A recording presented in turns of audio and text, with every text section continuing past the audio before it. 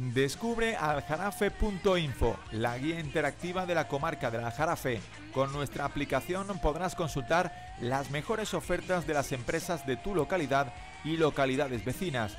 Entérate en nuestra sección de eventos de los mejores planes de ocio para sacarle el mejor partido a tu tiempo libre.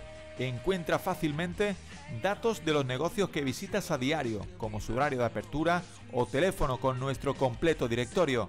Disfruta en tu móvil de todo esto y muchas funciones más descargando nuestra aplicación aljarafe.info, la guía interactiva de la comarca de Aljarafe.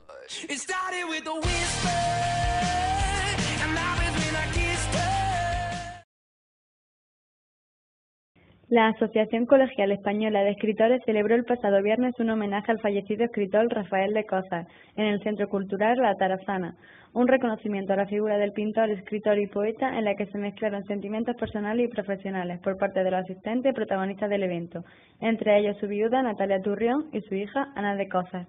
El acto fue amenizado en todo momento por la música de un cuarteto. Rafael de Cosas fue recordado como el amigo, el personaje singular, el hombre divertido, el creativo sin fin, el trabajador y el profesor.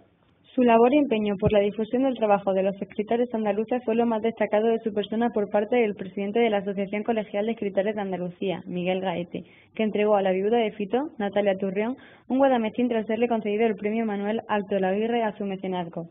Gaete recordó que Rafael de Cosar presidió la ACE durante 20 años y dedicó casi tanto tiempo como a su obra un esfuerzo inmenso por rescatar la literatura andaluza.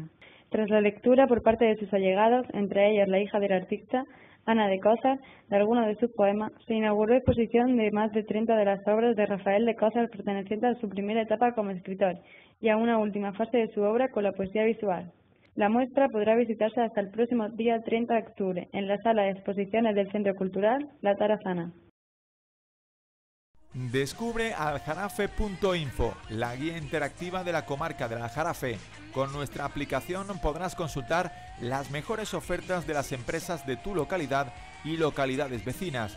Entérate en nuestra sección de eventos de los mejores planes de ocio para sacarle el mejor partido a tu tiempo libre. Encuentra fácilmente datos de los negocios que visitas a diario, como su horario de apertura o teléfono con nuestro completo directorio. Disfruta en tu móvil de todo esto y muchas funciones más descargando nuestra aplicación aljarafe.info, la guía interactiva de la comarca de Aljarafe.